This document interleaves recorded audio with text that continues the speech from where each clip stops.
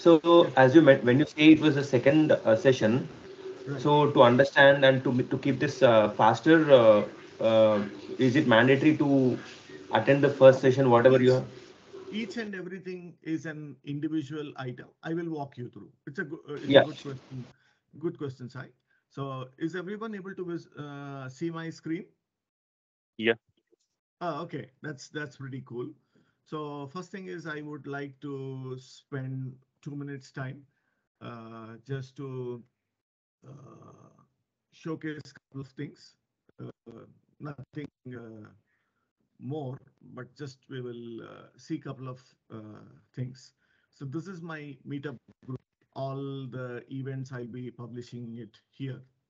The first point, and the second point is the YouTube channel. My YouTube channel here. If you come and see the first episode which we did it was uh, this one.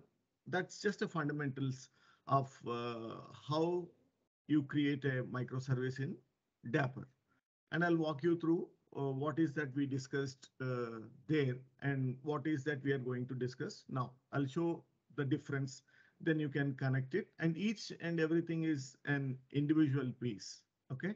And we will correlate how it is individual piece and all these events are being conducted from the Microsoft Learn community. And this is my uh, room. Uh, it's called Swami the Learner. That's the room. And I will be hosting all the events here. And I'll generate the link and post it here. All the links are here. And um, uh, sorry, I got delayed again. I'm unable to uh, control my mistake. Okay, that's about uh, what the events are. Please feel free to join uh, this meetup and uh, please feel free to uh, join this one. I will post it here. And now I will give you the links where you will find all the source code and the demo script. Okay, so Sorry, Swami, thing we don't see the chat window here. I don't know if you disabled it or something like that. oh, is it? Uh, just give me one minute. Okay. Uh, uh, it's a, it's a, it's a good point. If you can enable, it will help us to collaborate better. We don't need to interrupt your streaming. Right, right, right, right, right. Uh, what did I do? Uh, let me re-enable that. Uh, someone asked me this question before also. Uh, how do I? It will be in the settings, meeting options. Don't show chart bubbles. Oh, now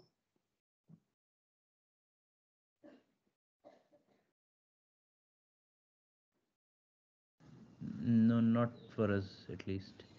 okay. People can dial. I guess with Microsoft Community Event Tenant uh, account we have joined, so I think in that chat option will not be enabled. I guess I'm not sure. Like uh, I could not see anywhere anyone uh, before also. Right, right, uh, Basha. That could be one reason. But uh, but anyways, uh, I'm flashing it on my screen. You guys see uh, this. You will see if you find uh, search with Vishi Payyallore, it will be a green circle, uh, blue circle. So inside that, um, the speaker series, today's date. Okay, Dapr service to service invocation. This is the demo script where we will find whatever we are going to discuss today. Everything is here. Okay, that's the one. And uh, and oh, what I can do is I can put it here in the uh, in here, isn't it? Meetup place, meetup link. Yeah, uh, in this link, if I put it, it will stay. Okay, that's the one. And uh, the second one is uh, it will be here, Tech Skills Academy. This is the entire organization which I created where I'll put in all the demos. So this is the one. Uh, this is the demo. I'll bring in the first episodes also. As of today, take uh, this one. It has got all the code and uh, how do you execute. All the tips and tricks are in here. So I'm putting it this one also. So both the links are available here. Now it's a good point, even though we don't have, uh, we, we have everything. Okay, without any further delay, let's come back and uh, start this. So I'm a learner, so apologize if I do any mistake. And you can watch the first episode here. I'll create a playlist for this uh, Dapr microservices. It will be rest of the year will continue. So let's quickly see one single piece here. So I'll create it separately. Now, if you see from the overview perspective, it's a portable and event driven. That's one point. We'll come back to that one. Uh, before that, we will see what is that we are going to do. Let's discuss about the big picture and 30,000 foot of Dapr. Please watch the previous episode. But these are two different uh, pieces that just shows that how do you create a single microservice and how do you uh, integrate with this Dapr sidecar and you can make a direct connection to the API or you can go through Dapr. I'll show you that one also. How do you communicate with uh, both of this? And how does the service to service invocation works and uh, the resiliency, which is key piece. So we'll see all uh, all these things in a, in a, in a minute. Okay, so let's see. Uh, this is a big picture. We will have two different microservices. And when I'm using these microservices or cloud native applications, high sounding words, but if you see, uh, there are checklist, a list of items to have it to call any service to be a microservices or cloud native. I'm not uh, going through that checklist, but even though it is a single unit of uh, uh, service, I'm calling it as a microservice.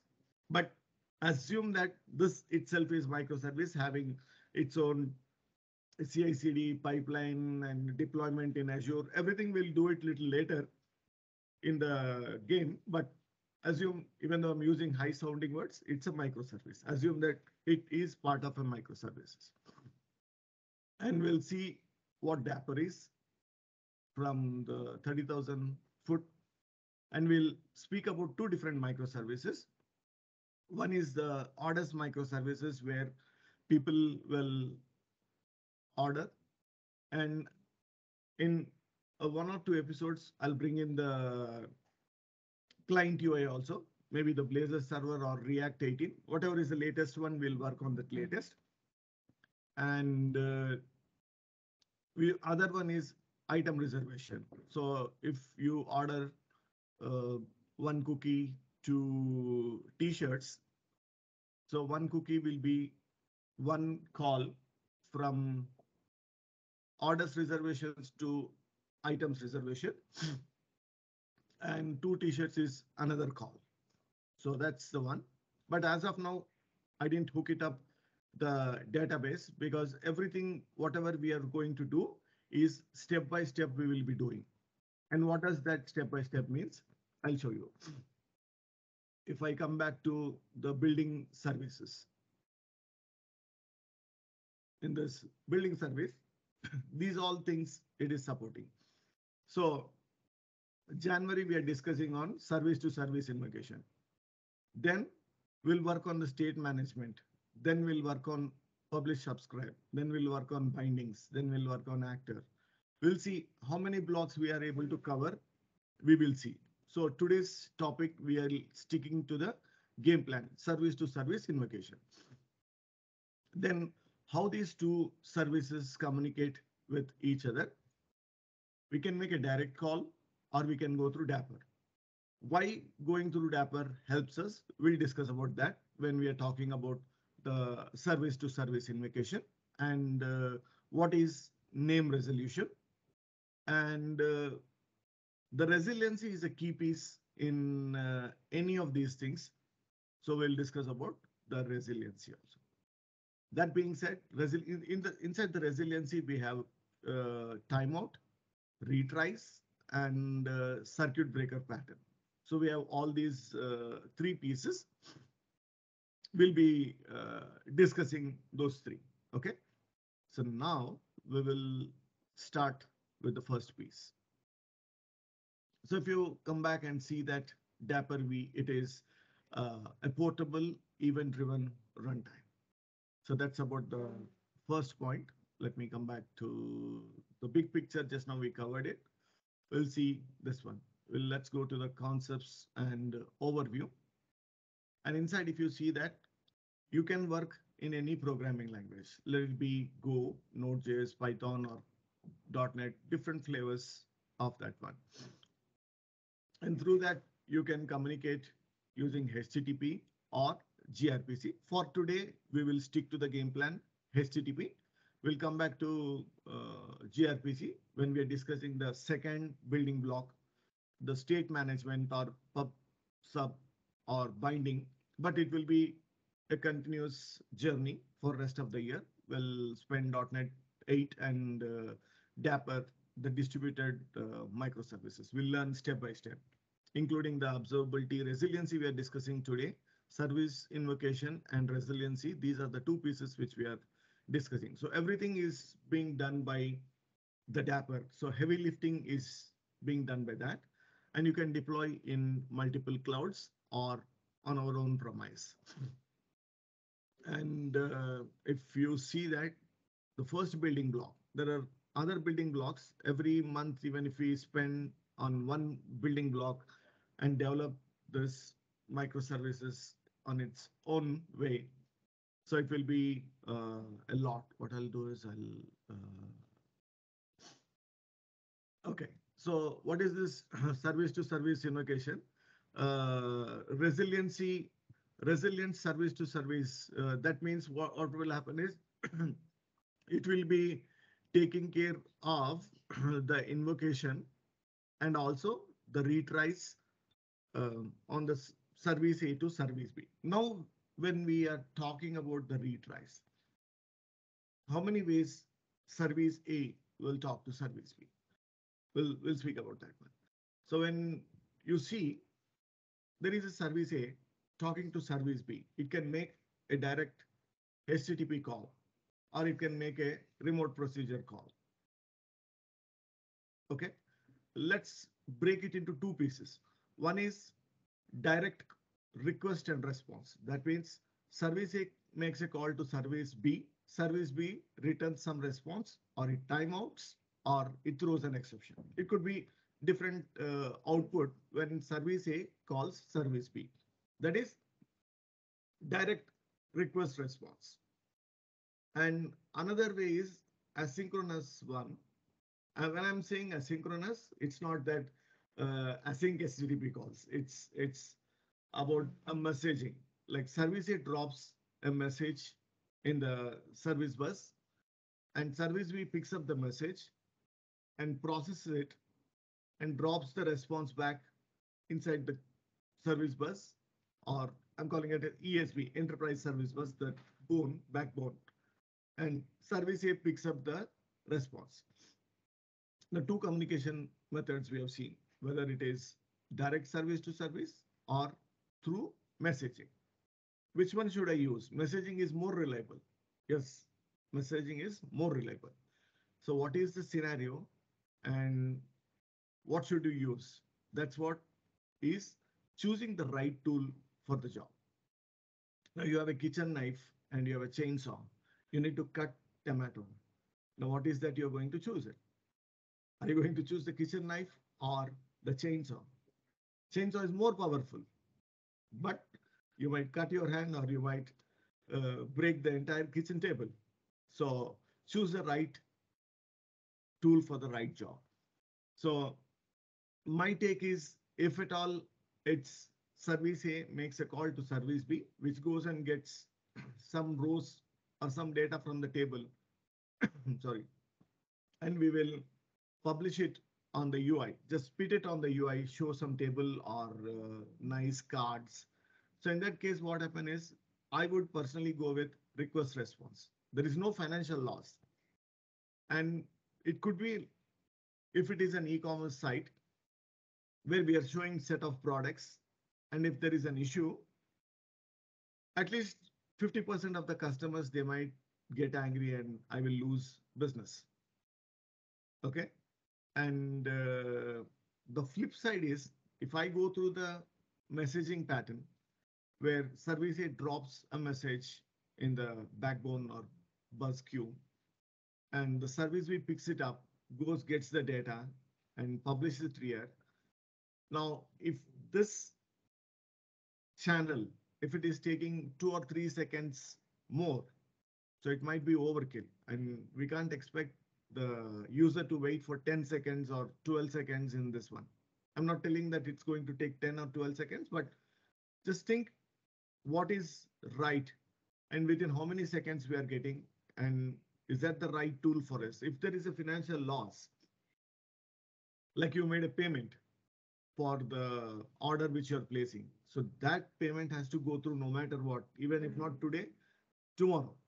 So the user is not waiting in front of the screen for uh, the transaction to be completed. Like if you see any e-commerce site, I'll take example of Amazon. I yesterday I placed an order and I got a message, a red color uh, uh, div, and they were telling that uh, transaction has gone through. Please wait for 20 minutes. So after 20 minutes, they again sent welcome uh, message to the Amazon Prime. Your transaction was successful. So in this case, you, you can't expect the user to wait for 20 minutes in front of the screen. So that's like an asynchronous. They took the message and this gave me the first cut of uh, saying that, hey, we received the payment. We are working on it or the payment would have failed. Please come and try after 20 minutes. So those kind of things which we will take. So that's about this one. And the second point in this when the service to service communication happens is service A calls B, B calls C, C calls D. So while this is happening, so one of the thing is if service D is failing, so how much time service C should wait on D? So should it wait 30 seconds for timeout or should it wait five seconds? What is the SLA service level agreement between service to service? So that's the key thing. So if at all, I imagine that service to service B is five seconds and B to C is five seconds, C to D is five seconds. So in this chain, so what is that SLA we can fix it is maximum of 15 seconds. So if it is timeout is happening and C to D is waiting for 30 seconds. So 30 plus 5 plus 5, 40 seconds user has to wait. So which is not uh, acceptable. So in that case, what we can fix it is any service to service communication happens. If I don't get response within four seconds, I'm going to time it out. So the first thing is timeout is very, very important. And the second thing is transient errors. So the errors which which will be like a temporary blip kind of thing. So service is not responding for some reason or it is getting rebooted or only the transient errors. So it makes sense to retry. So how many times you need to retry? There are again a couple of ways to do. One is the flat retry. So if I say retry three times, so every five seconds I retry. So flat five seconds. I'm not going to wait more than that. The other way is exponential. So first retry I make it now. First time it failed. I will retry after five seconds. And then second retry I'll make it after 30 seconds and third retry, I'll make it after 60 seconds. So this way exponential, I'm just giving hypothetical numbers. It's not the exact numbers, but exponential retry makes sense when by the time when we make this exponential retries, the service would have healed itself. Assume that it's in a container and container crashed for some reason and the container is coming up. So the first attempt would have failed when it makes a retry after five seconds, assume that unfortunately it failed the second one also. The second retry is we are doing after 30 seconds. By 30 seconds, the container would have come up. So that time it will go through. So that's about the retries when it is service to service communication. So now if you see that for Dapr, for you to work with Dapr to how do you go with it? The first thing is you have to do the installation. So you can come to this Windows because I'm working in NS, I'm telling about this Windows. There are other uh, OS it supports.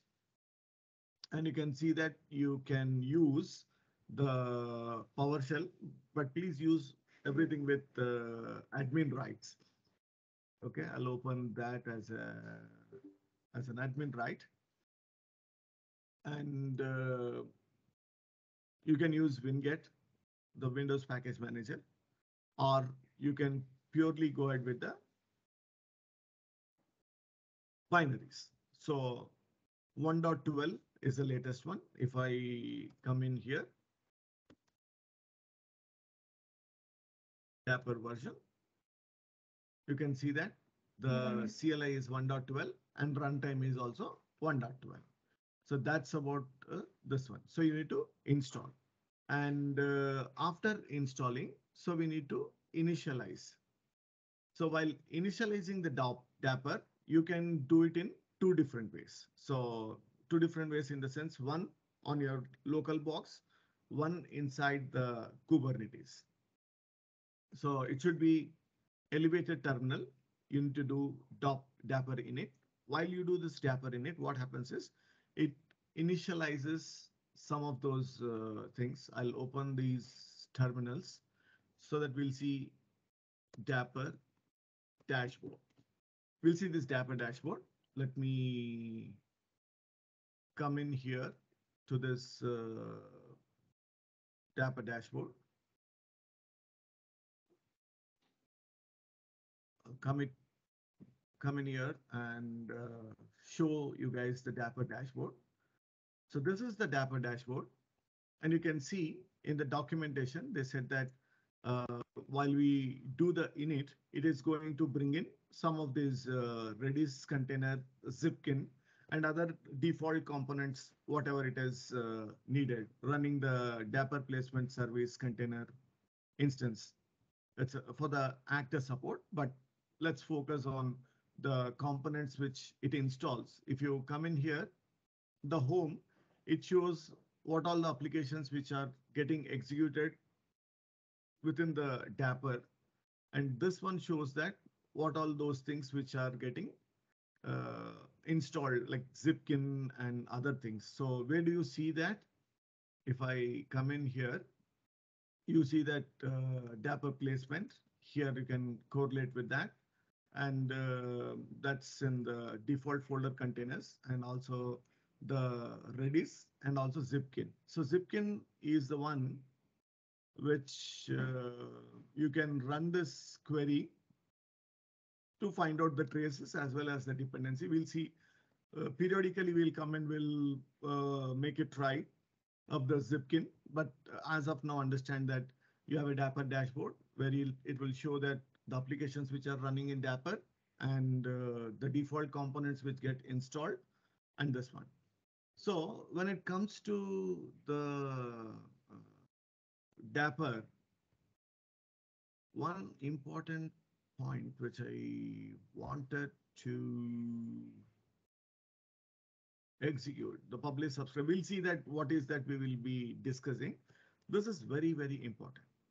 Uh, when you initialize the Dapr, you can initialize locally or in Kubernetes. So when it is in Kubernetes, that's a separate container. So I'm parking that. Uh, if I explain without the visual representation or without showing the things in the container lively, it might confuse. But let's stick to the game plan. It's not inside the Kubernetes, it is inside our local box. So what happens is when you install the Dapr or initialize the Dapr, install and initialize the Dapr on local, not in Kubernetes. Installation on local, but the initialization will be either in local or in Kubernetes. So this is local. we did initialization. So what happens is the service, each service will be married to a sidecar Dapr. Okay.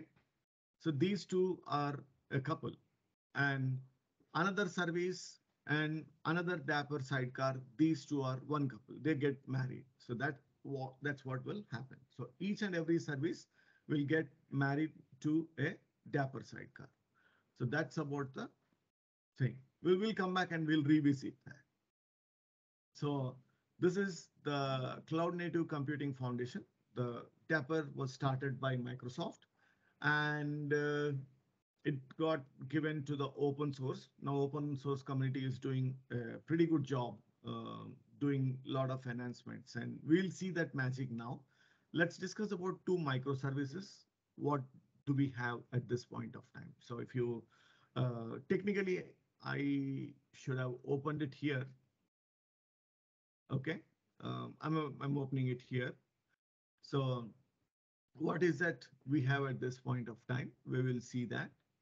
So the first thing is I have a core because this is the starting point. We'll slowly come and initialize and build on top of it for the rest of the year. We'll have a UI, the front end and everything will develop it, but we will go step by step. So see, uh, inside the core, as of now, I'm using only the welcome routes. I'm not using anything else. Um, we'll, we'll start using next uh, episode. Okay. And uh, the next thing is, uh, okay. So the next thing is we will be having a data project. And inside the data project, we have three entities. As of now, as I was mentioning, we are not cooking to any database or any collection. It's just a plain, our focus is mainly on the service to service invocation. So there are three entities.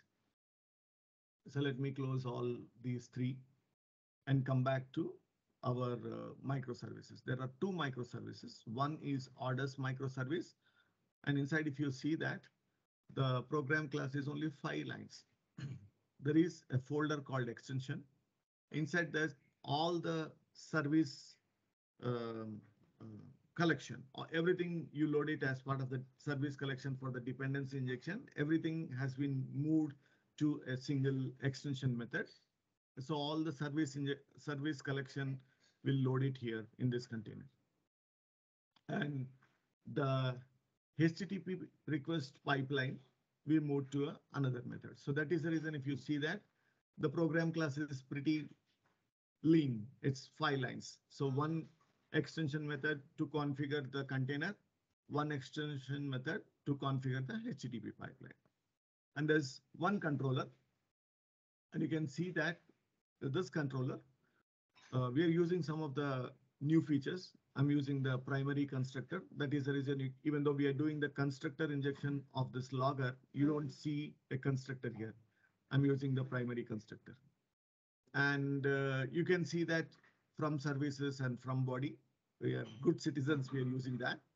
Uh, and Dapr client is getting injected here in this one. So where is that you have loaded? If you come here, here we are adding add controller and add Dapr. So that's where the Dapr client, you can see that Dapr client is getting injected and we are seeing that uh, the serialization options for uh, naming like lower case, the camel case. Okay, now this is uh, Swami. Yeah, go ahead. Uh, uh, can you show us like what is the uh, NuGet packages that we need to add here to get this uh, Yes. Dapr clients? Sure. Actually, uh, I need to know. I mean, like it's better to know about them as well.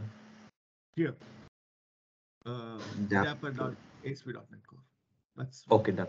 Thank you. Uh, You're welcome. All the time. Um, So you can, I'll show you that one also. It's a good point.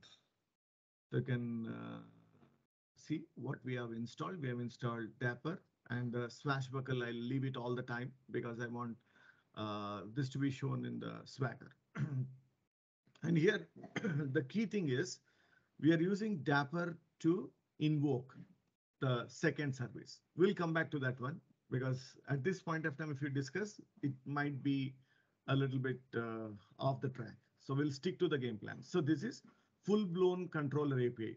What is very important is we have extension method and it is in .NET 8 and we are using some of the .NET 8 features. And one out of that is this one. I really like this. I'll show about that once we start executing. Now let's come back to another service, which is minimal API.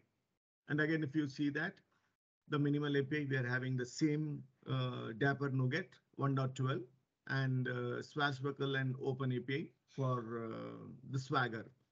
And we are using these two uh, libraries.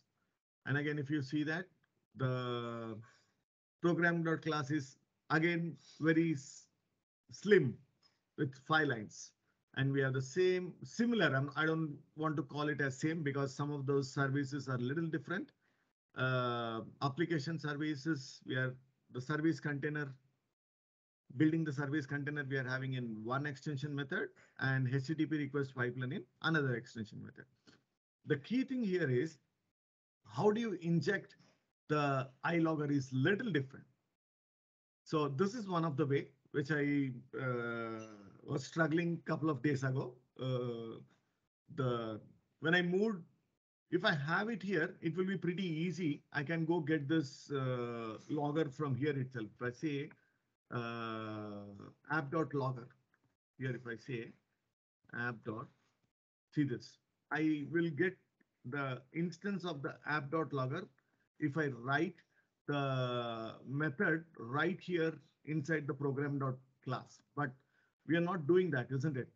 What we are doing is we are writing uh, similarly how we have the controllers folder. I've created an endpoints folder. I'm writing all the business logic, uh, separate methods, similar to how action methods are there. We are doing something similar to that. So this is map post reserve. So for that to get hold of this uh, iLogger, that's one catch. What you have to do is, this is one of the way. I was uh, browsing uh, Stack Overflow and I like this one. A very simple thing is we can uh, do this, get the required service, iLogger factory and create a iLogger factory. That's it. So that gets, we are adding transient iLogger. So other methods can take advantage of this. So that's the one thing which is a new, uh, I learned it day before yesterday. So this is a reserved method. That means we are saying that I reserve these items. So what happens is if you see this controller, if order comes, there are 10 items in the order. We'll traverse in the order. We'll take help of Dapr and visualize uh, this picture. So this is the order order and it is traversing. And if there are 10 items, every time we are calling the Dapr client. So that means it, it doesn't call directly order process. So let's take our own order versus our item reserve. So for every item inside the order, it calls its own Dapr sidecar.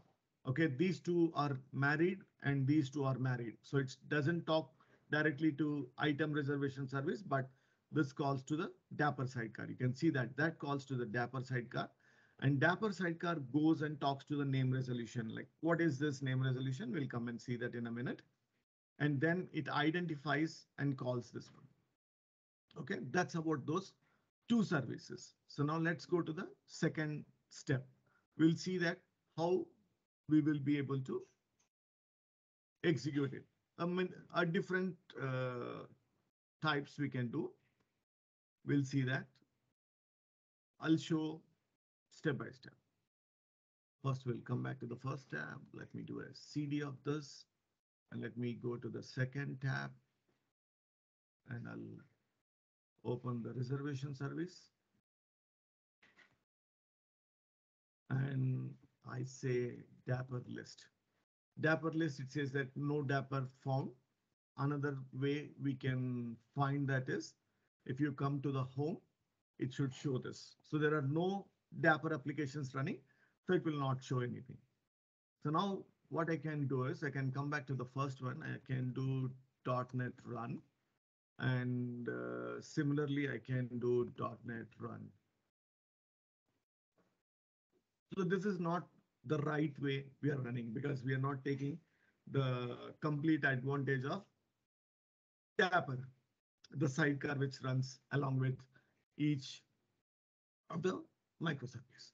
So what happens is here, if you see, if you want to go and hit the orders controllers action method, order action method, I'll not be able to hit it because inside the code, I'm not using the HTTP pipeline, the HTTP client or HTTP client factory to invoke the item reservation service. So that's not possible. We are using the Dapr client. So that means you need to visualize this picture over here. This guy talks to Dapr. That means we have to execute this microservice using Dapr. If we execute it with Dapr run, sorry, .NET run, it will not work. We'll, we'll see that in a minute. See if I uh, copy this URL and uh, come in here and do a swagger on this. It is here. If I want to try this, it will fail because inside the code we are using Dapr. So it says that it's unable to find uh, a method on the application ID because now the Dapr, we are not executing with the Dapr. So it's not able to find it. But we will be able to execute the reservation service, item reservation service, because item reservation service is not dependent. Uh, I mean, it can direct, we can directly hit it. Uh, we can directly hit it. Like I can come in, I can uh, hit this method. I can hit this one also, but it doesn't make sense. Technically, someone order service should call. I can directly hit it because there is no Dapr client inside that because it's only the communication from order service to item reservation service. So that's how we execute it using the .NET. It's not using Dapr. Now we'll go to the second step where we will execute it with the Dapr. I've given all the commands here. So, so this one, we are executing it with Dapr. And right now we are not using the resiliency. This one is with resiliency. This one is without resiliency. First, let's uh, at least start with without resiliency. And oh God, sorry. This is the first step where I need to execute. This is orders. So it is executing the order service. You can see that now the control is in Dapr. Now I can come back here and do a Dapr list. You see that order service is there. So this is the application ID. So Dapr internally recognizes this local name. Now we can come back to this one to oh see that it's it's already there so if you see recognizes there are no actors it's not a uh, stateful microservice so it's just it recognizes with this one so that's the uh, built-in name resolution it's going to take care. So now let's come back and uh, execute the second microservice also.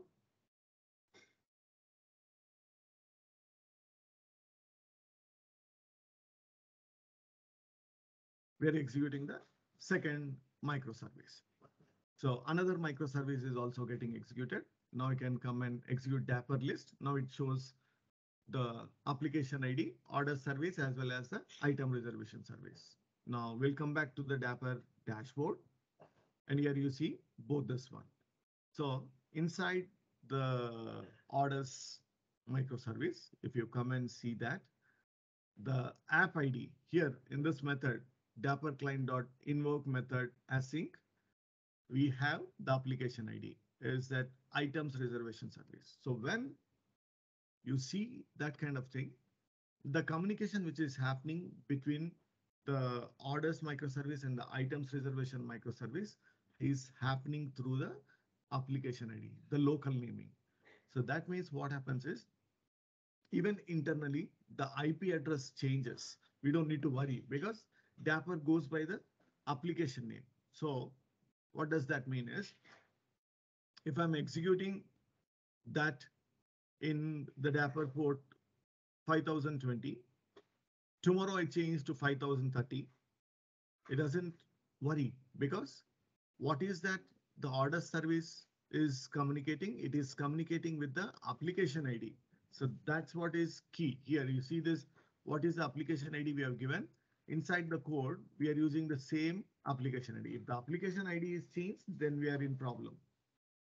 As an, until the application name is not changed, Dapr uses the application name, even though whether it is deployed in container A or container B, it is having the IP address of one or IP address of five.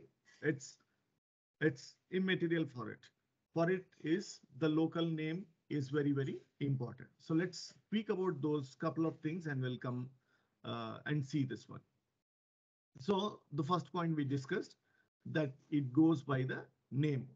Now, what is this service to service invocation? So if you see that Dapr facilitates uh, a standardized approach to make this service to service invocation seamless. Okay. And we also discussed that sidecar. We have seen the pictures also. Every service will get married to its own local uh, Dapr sidecar. So those two become one pair. So if you have five services, each of the service will have its own sidecar, Dapr sidecar. Okay. And you can see that um, the complexity of the network communication or the, whether IP address is uh, changed or anything, it doesn't uh, matter for it. What is very important is it uses the app ID. And the name resolution also, we will see this one important point. Let me copy the link address. Let's go to that particular tab where I'm opening all uh, the Dapr related one. So you can see that the name resolution, what is that before the name resolution? Is this one. And let me go to what was the previous one?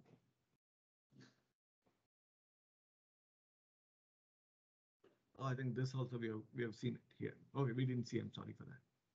So you can see what is very important is it just goes by the local name. So that is what is very, very important. Oh, we have seen this one.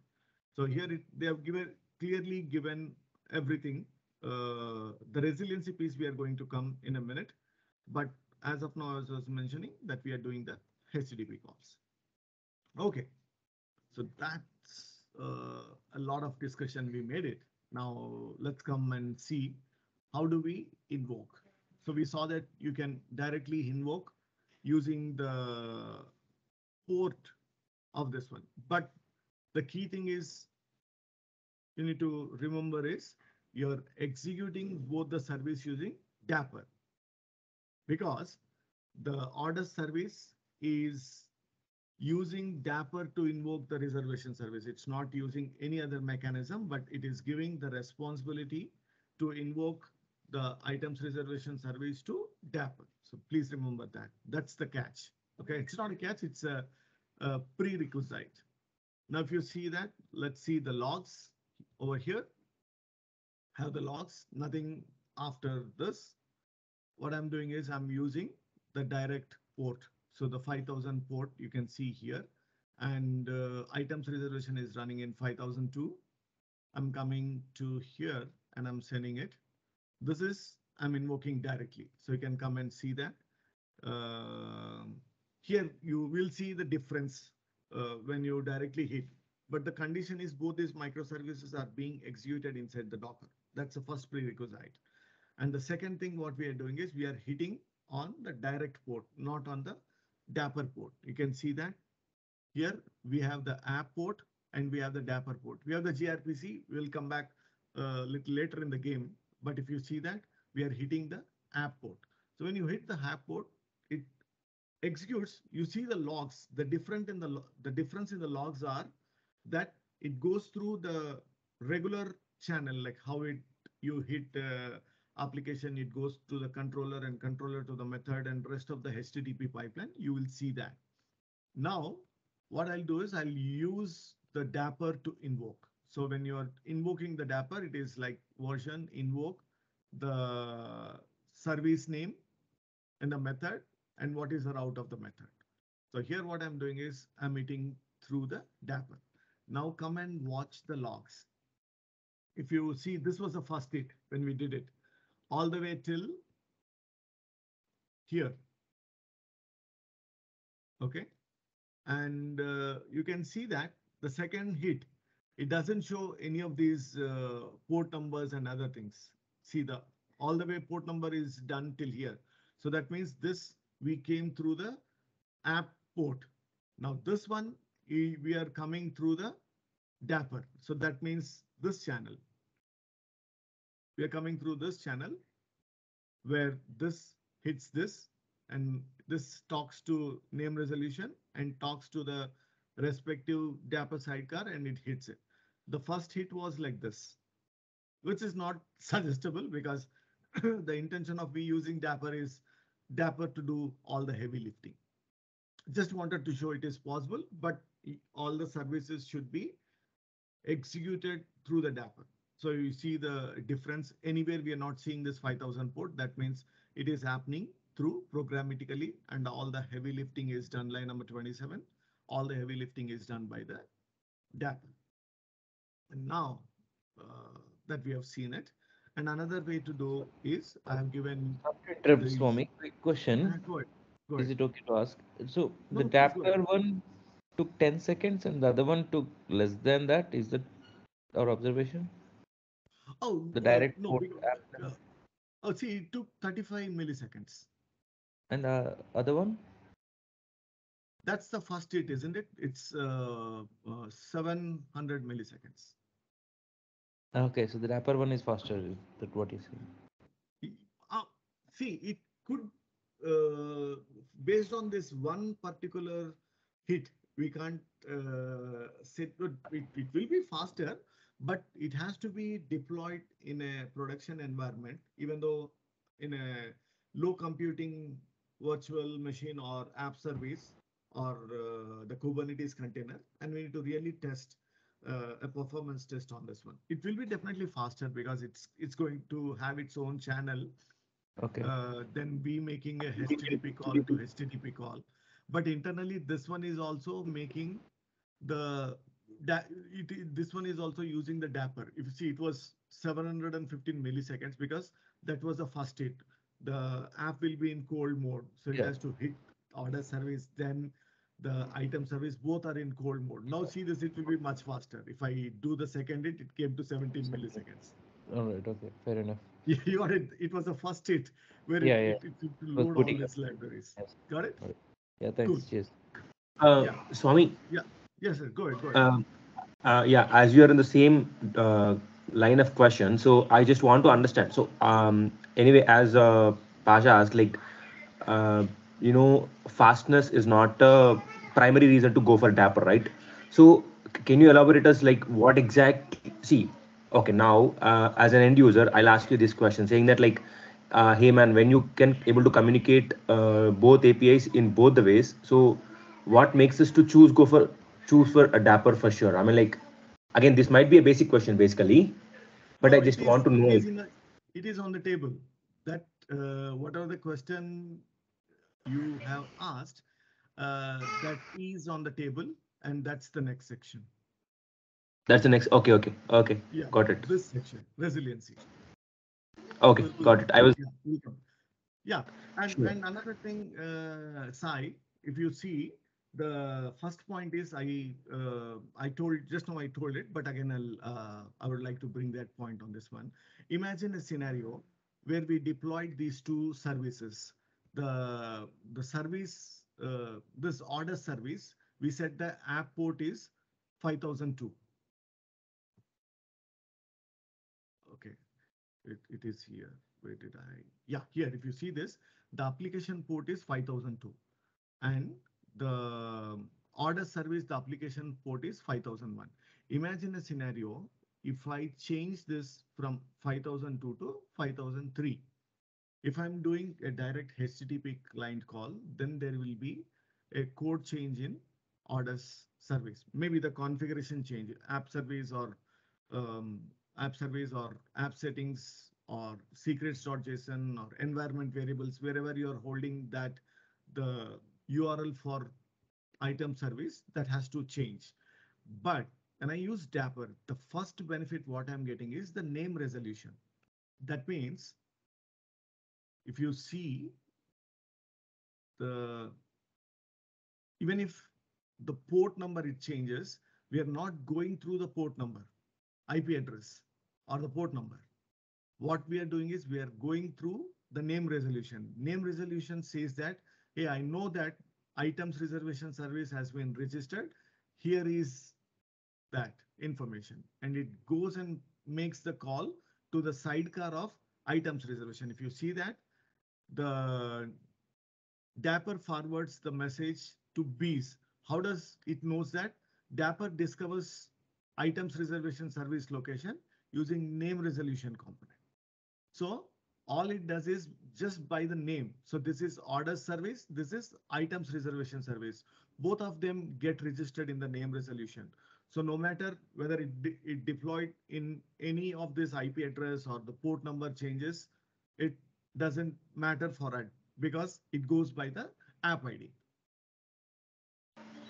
That's okay. Uh, yeah. Yeah, that makes sense, uh, uh, uh, Swami. But uh, I see, uh, as a person, like now that we are in a, you know, very strange world. I mean, like we were so so much faster. Well, like like let us assume if we deploy, you know, our order service in Azure, like probably with some DNS, uh, there are some some things called DNS uh, naming convention. So by which uh, we don't rely on IP address at all.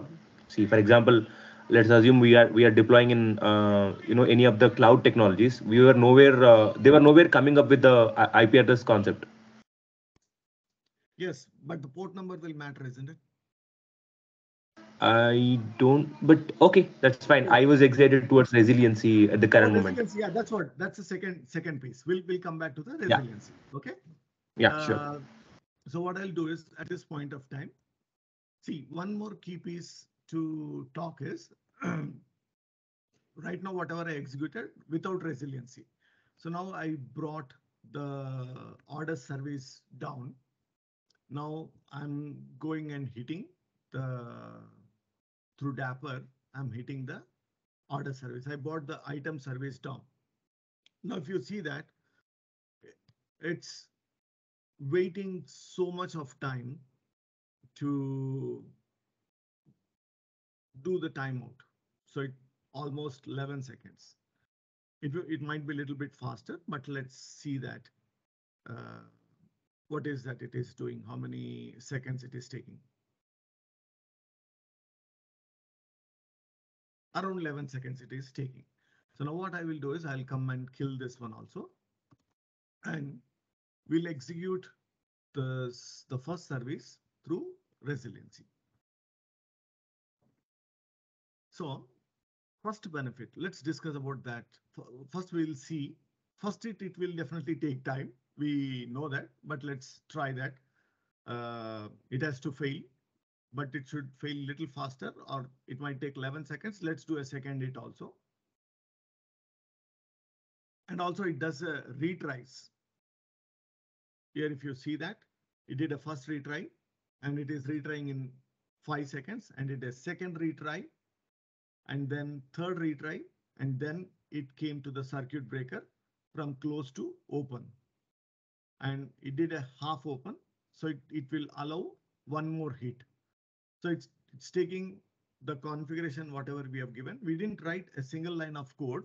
All we did is we gave the configuration and we said the Dapr to go ahead and do that. So whatever this 40 seconds you're seeing, it's a consolidation of all the uh, all the pieces inside the mix. We'll see that in a minute. And now if you see that, it made it half open and we're trying to make uh, another call. And again, if you see that, it is making a retry. First time it failed. It was half open. And then it made a first retry. And uh, it will do a second retry and it will open the circuit breaker. So if you see from the circuit breaker perspective, first we will see that theoretically what it is, and then we'll uh, come back and discuss about this.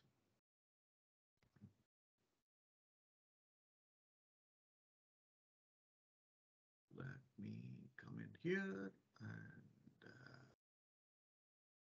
open this as well as I will open this resiliency.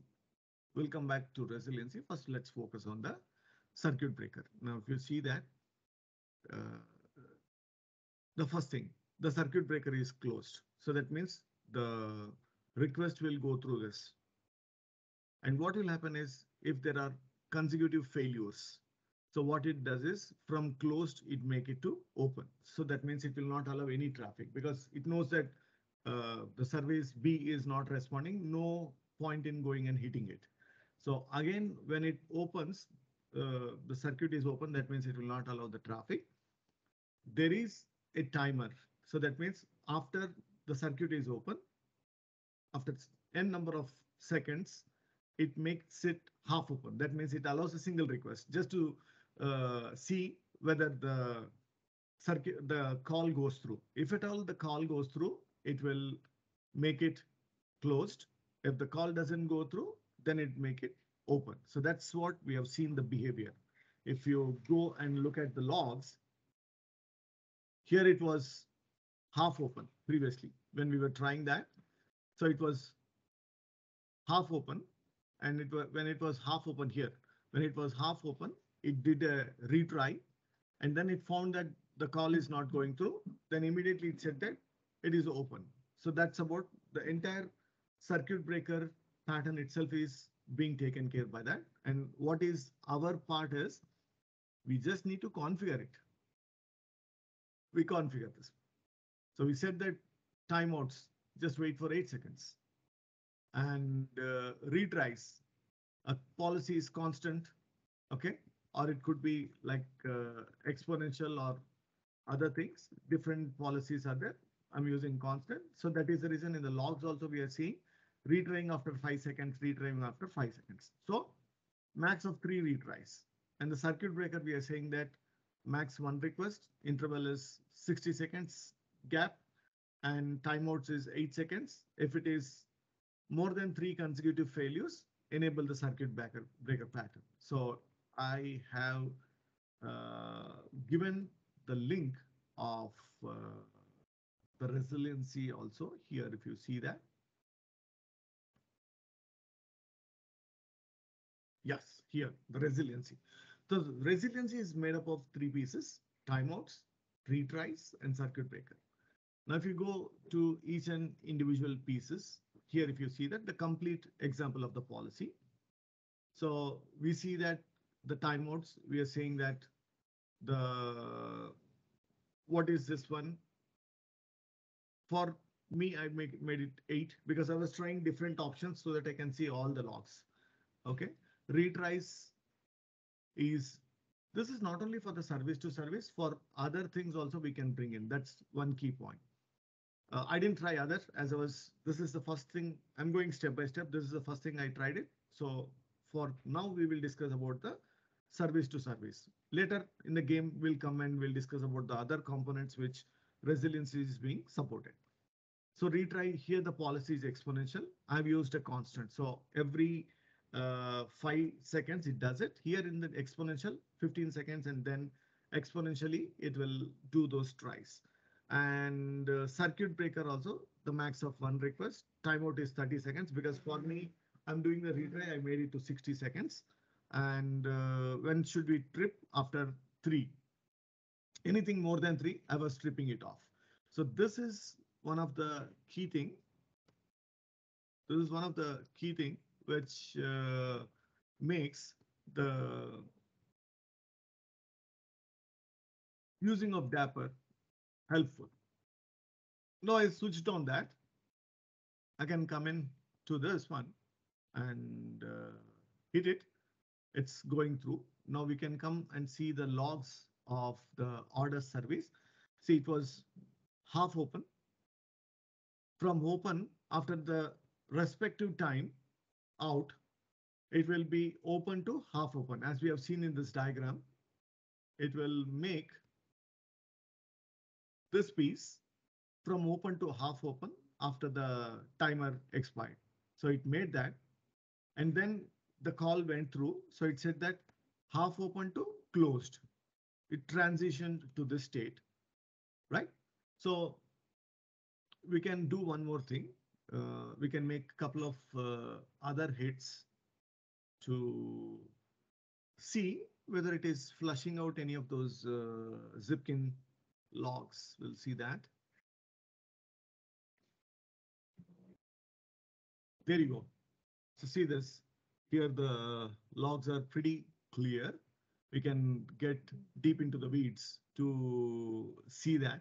Some of the good thing which I liked it about uh, the Zipkin is I was able to go to that level of uh, details uh, where it clearly shows that when it made the retry, when it did all those things, I was able to do that.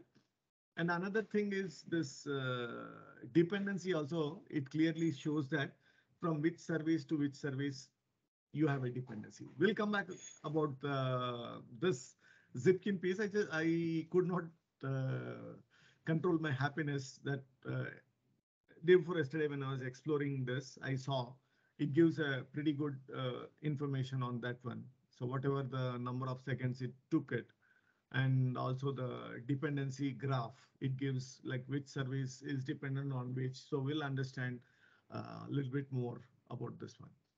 So another thing, see this, it clearly shows that if at all there are errors also, it will show that the bubbles will be in two different colors.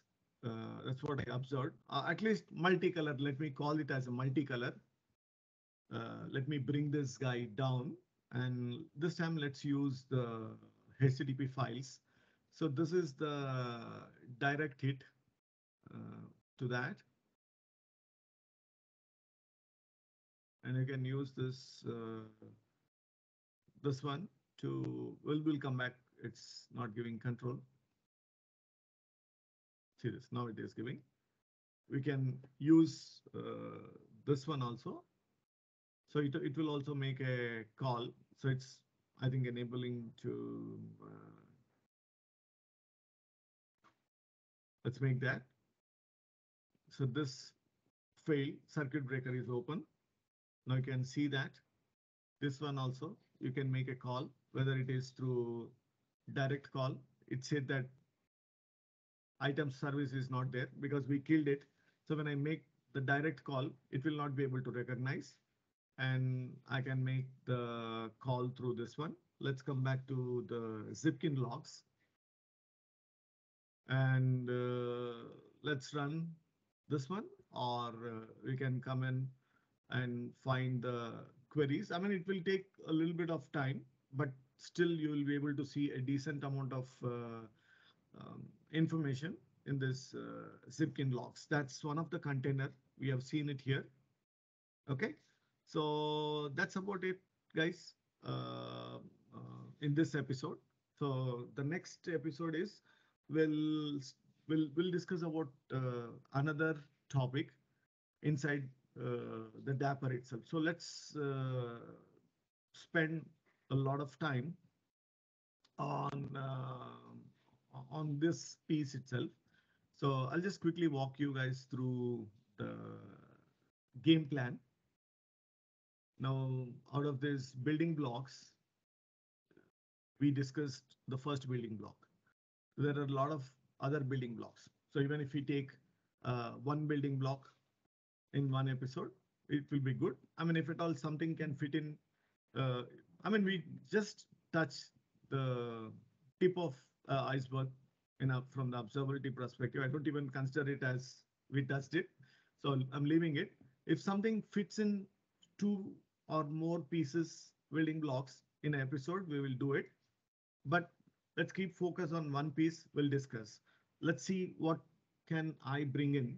Maybe one out of these three, maybe the state management or the publish, subscribe or binding. I don't know what, but I'll bring in in the next episode. So entire uh, entire uh, uh, year we, will spend on that. So this one is done. Uh, next will be purely from the .NET 8 and uh, uh, and artificial intelligence. Azure OpenAI We'll, we'll be discussing on that one. So you see this uh, AIML. Uh, I did uh, one of this uh, demo. It is purely on uh, Vite and uh, Node.js and Express. So that is uh, React 18. It was done through Vite. And uh, it will be having the backend of uh, Node.js server, uh, which will be speaking with the Azure OpenAI to do the completion uh, job.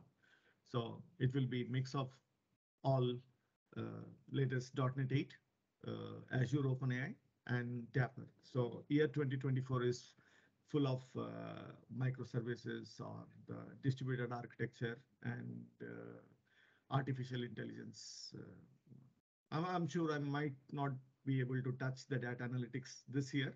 I'll see if I'm able to, but just want to focus purely on the Dapr um, microservices, distributed architecture, uh, and uh, latest .NET 8 will touch upon the uh, the database EF Core 8, minimal API, full-blown controller APIs, gRPC, uh, Blazor WASM, SignalR, like every month a different theme, but every month a Dapr, every month a different theme in .NET 8, and uh, a different artificial intelligence. So that's about this one. So please uh, subscribe to that YouTube channel. I will edit and upload this. And I sincerely apologize again for uh, being late. I am stopping the recording. If you have any queries, we can speak. Mm, do you guys have